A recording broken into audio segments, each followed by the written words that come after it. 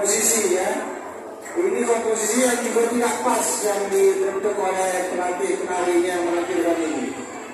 Kalau mau komposisi yang bagus semestinya uh, yang dua kiri kanan yang kecil itu kiri kanan yang di tengah yang tinggi seperti itu.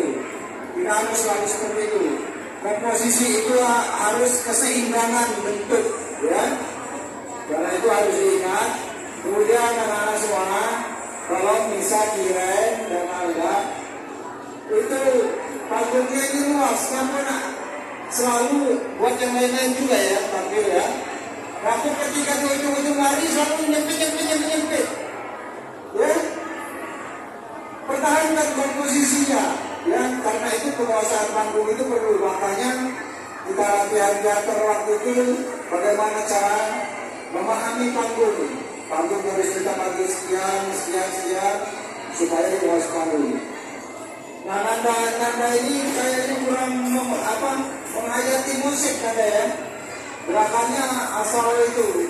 Mungkin lebih cocok untuk pemain silat kata ini latihan silat aja lah. Kayaknya lebih pas gitu. Karena gerakannya gerakan seperti itu. Ya tidak menghayati musik kurang itu ya. Sehingga gerakannya mau buru-buru aja mau cepet-cepet selesai kayaknya temannya belum belum belum ini dia sudah mau duluan. Gitu ya oke dilatih lagi nanda ya. Semangat ya. Terus mana mau terus lagi kan iya pasti bagus saja kalau latihan terus. Semuanya. Oke tepuk tangan untuk dia Nanda dan Mira. Silakan kembali